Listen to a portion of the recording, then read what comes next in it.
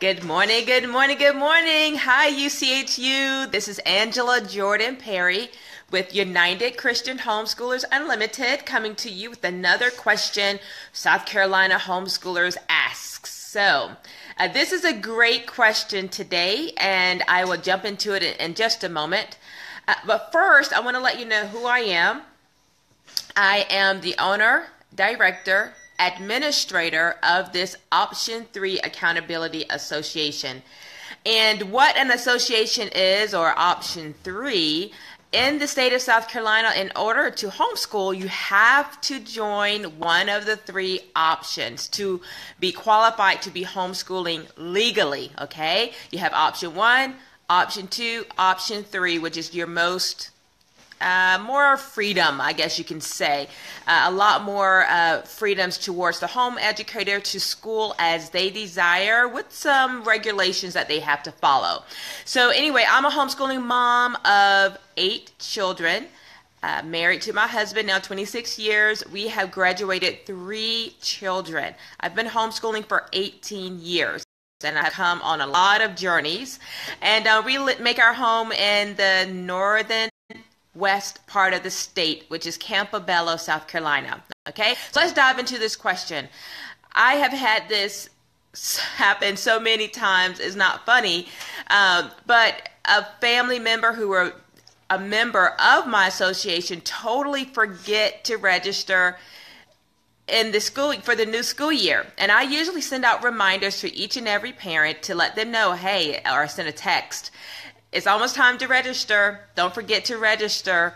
Registration is opening or something like that. And it still happens because we are in the midst of homeschooling, we're in the midst of living life. Things happen. And so if you have been that parent who totally have forgotten to register and then you realize, hey, what do I do? I've already been homeschooling for more than half the school year, but I forgot to register. What do I do? So there's two things. One, legally, I mean, you can register anytime with my association throughout the year. My year goes from August the 1st. Your membership will go from August the 1st until July 31st. No matter when you register in the year, it expires July 31st, and all your paperwork and your cards will say the same thing July 31st, okay? So, number one, register as soon as you forget. I mean, you remember, go ahead and get registered. Number two, legally when it's time to count numbers because under the law you have to have 180 days in attendance. So legally you can only start from when your paperwork identifies when you were legally homeschooling under option 1.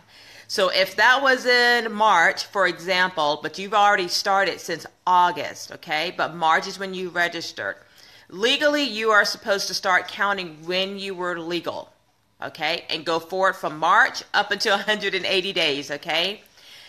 And that's just it. And so all those days prior should not really count because you were not legally homeschooling under the law. Now, I tell my families if the situation happens where you have totally forgot to get signed up, you need to put some documentation in your in your paperwork indicating what has happened, but you have registered, but you totally have forgot. You have been with this association, and I can vouch that you have been with me the year prior, and you just have forgotten and started late. You need to put that in there and go ahead and keep your count of your 180 days.